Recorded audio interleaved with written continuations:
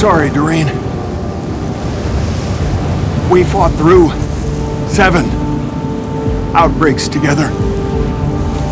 And I always thought I was the one leading you.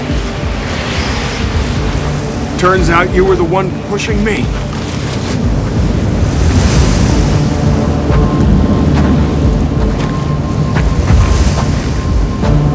Have you located Ballesteros?